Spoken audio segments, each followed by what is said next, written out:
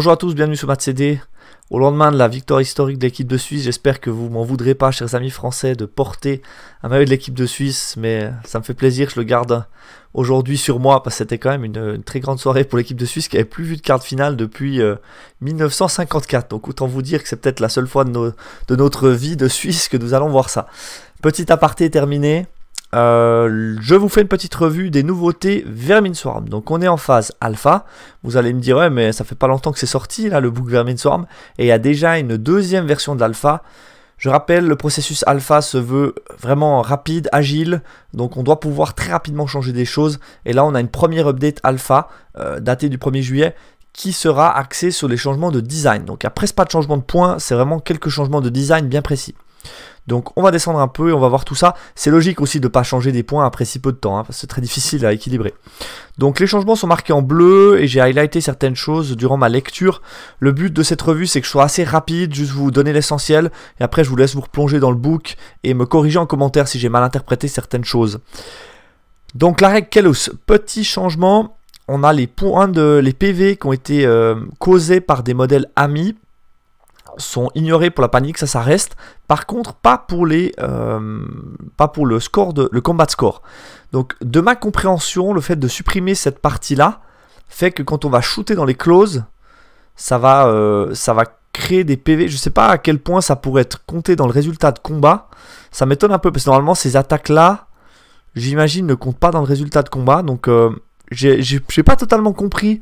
Est-ce que c'est simplement moi, comme je comprends ça, hein, ces shoots faits dans le close sont en phase de tir, donc ça compte pas pour le résultat de combat. Donc je pense simplement qu'on a supprimé cette phrase par simplification, mais dans tous les cas, ces shoots, ces PV causés par les shoots amis ne causaient pas de points dans le combat de score. Donc euh, je pense simplement qu'on l'a supprimé par euh, simplicité, mais je crois pas que ça change quoi que ce soit. Euh, vu que ça comptait selon moi d'office pas.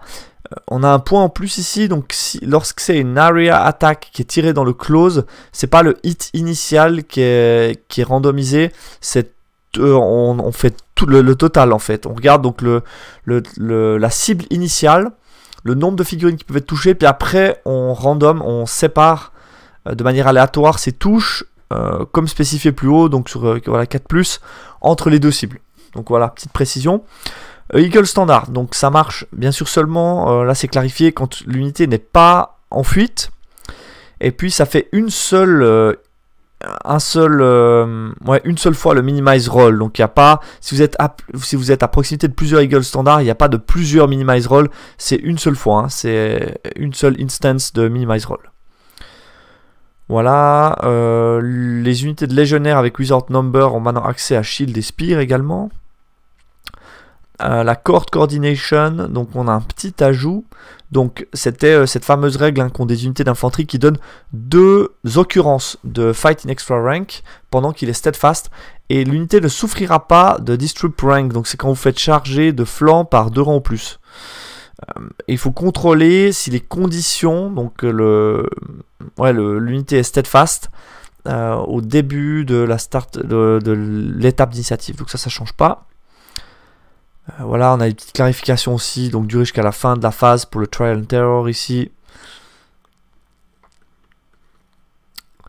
Euh, l'héréditaire, aussi un petit peu de rewarding. Alors j'ai toujours pas réussi à comprendre un truc les amis, c'est est-ce que ce socle reste un socle de 40 par 40 qui augmente en PV à chaque phase de magie, ou est-ce qu'il y a des socles supplémentaires qui viennent se mettre?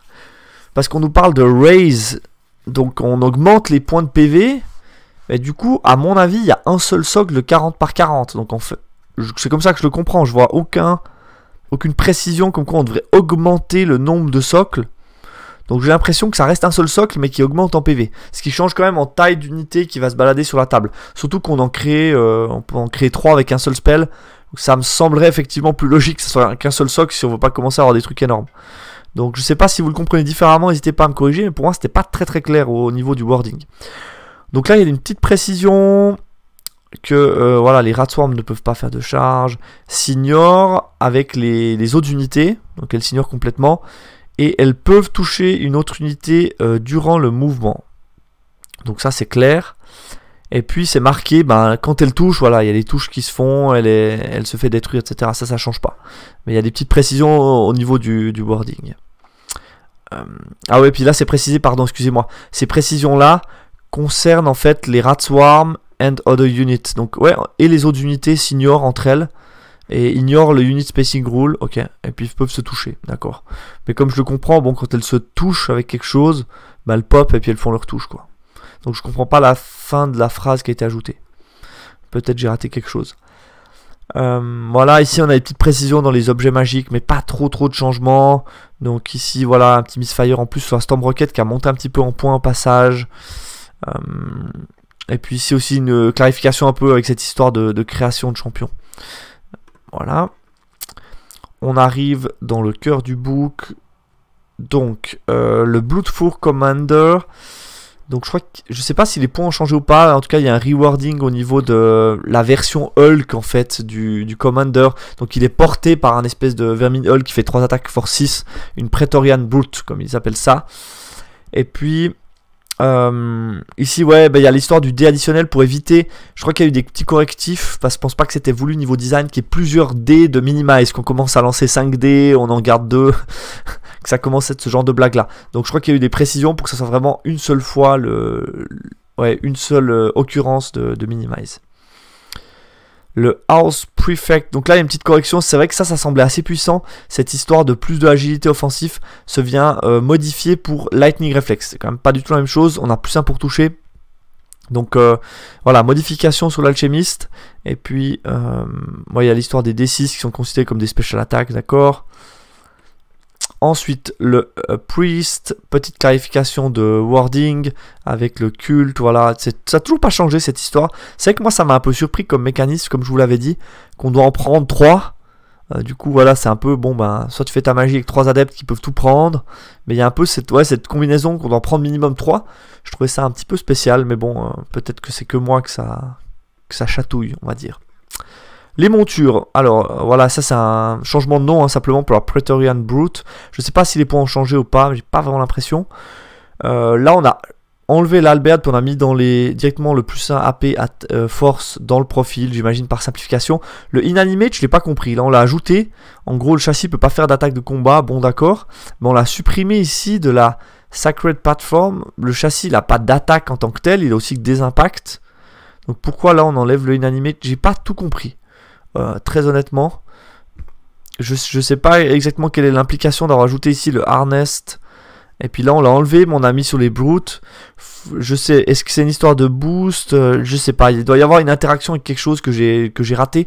Euh, n'hésitez pas à me compléter en commentaire pour m'expliquer ce choix là d'avoir ajouté le harness ici et là, et puis d'avoir enlevé l'inanimate sur cette plateforme là, mais de l'avoir ajouté ici. Je, ne comprends pas très très bien le sens de tout ça. Euh, ensuite, on descend un peu. Donc, les Black Fur Veterans, on a un retravail de la Avrasi Formation. Donc, il y a deux, deux formations, c'est assez sympa. Ça dépend cette fois du nombre de colonnes. Donc, si vous avez exactement 5 colonnes, vous gagnez soft cover. Mais par contre, vos euh, jets de charge sont minimisés. Et la deuxième formation, c'est Phalanx. Si vous avez 8 colonnes, donc la, la horde en tant que telle, la line formation comme elle s'appelle, vous doublez le nombre de euh, full rank donc de, rang complet lorsque vous comptez pour votre coordination, donc c'est l'histoire des, euh, des double fight in extra rank. Par contre, vos jets de fuite sont minimisés. Donc assez sympa pour cette histoire de, de phalanx, parce que du coup vous pouvez vraiment être en horde, taper full balle, mais vous comptez quand même comme ayant plus de rangs donc vous avez un peu les bénéfices des deux, parce que vous comptez quand même tous ces rangs pour le fait d'être steadfast et du coup d'avoir le double fight in extra rank. Ce qui fait que vous allez taper sur 4 euh, rangs avec, euh, avec vos Black Fur vétérans bien énervés euh, tant que vous êtes steadfast. Donc c'est quand même plutôt puissant et vous pouvez pas être disrupted au passage. Donc j'ai quand même l'impression que la version Phalanx a l'air, en termes de formation, plus attractive que la formation Testudo. Les Vermin Slave, je crois qu'ils montent d'un point dans la version Without Number. Euh, on continue, là on n'a pas de changement pour l'instant. Voilà, on descend un peu les Ignifier Grenadier qui descendent de 15 points et les modèles additionnels aussi qui descendent de quelques points. Je pense que c'est plutôt la bienvenue. Euh, et le Doom Spark Device, donc les, roues qui étaient avant en unité, qui pouvaient être à plusieurs modèles, passent maintenant en single modèle et reste assez cheap, euh, reste assez simple dans le fonctionnement. On n'en a qu'un seul. On a quelques petits changements au niveau du wording, mais concrètement au niveau du fonctionnement, ça ne change pas. On est simplement passé en single, donc euh, fini les unités de roues. J'espère que vous n'êtes pas trop chauffé niveau hobby à commander 12 roues chez GV, parce que c'était un peu tôt les gars.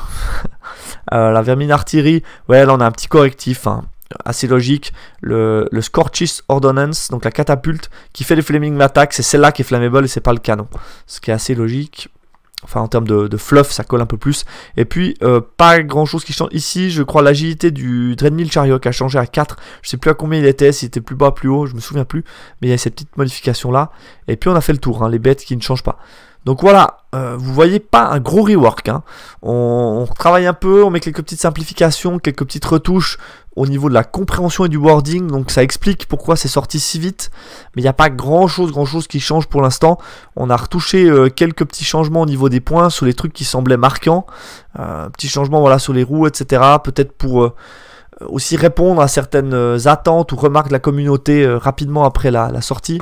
Donc on va voir un peu comment ce book évolue. J'ai toujours du mal à me positionner parce que je l'ai toujours pas affronté à l'heure actuelle, donc je ne saurais pas trop vous dire je saurais pas trop vous dire euh, ben, à quel point euh, ce book est bon ou pas bon. J'ai une phrase qui me perturbe, c'est que je vois que le Chord Coordination ne fonctionne pas si l'unité euh, est dans Disrupt Rank. Donc je vais aller juste relire ça. Est-ce que je vous ai dit des bêtises? Et est-ce que, parce que j'avais lu... While unity steadfast and does not suffer from... Ah ok d'accord. Alors autant pour moi, j'ai mal lu en anglais. Donc ok, le Court Coordination ne fonctionne pas si vous êtes disrupted. Donc vous n'êtes pas du tout protégé du disrupted. Simplement, cette règle-là ne fonctionne pas quand vous êtes engagé, euh, quand vous êtes disrupted. Donc ça, c'est très important. Parce que du coup, euh, ça change tout. donc euh, important, quand vous êtes disrupted, donc engagé de flanc par deux rangs ou plus, du coup, ça ne fonctionne pas cette histoire de double fight in extra rank. Donc euh, bon, c'est très bon à savoir. Du coup, j'avais lu ça de manière erronée. Voilà, donc je vous disais, j'ai du mal à juger ce book pour l'instant. Je vais essayer de, tester prochainement une partie contre, contre ce book pour pouvoir vous en dire un peu plus. Peut-être aussi vous proposer un rapport de bataille. Dans tous les cas, j'espère que ce petit format de revue rapide vous plaît. Et puis je vous dis à bientôt sur mon channel. Ciao ciao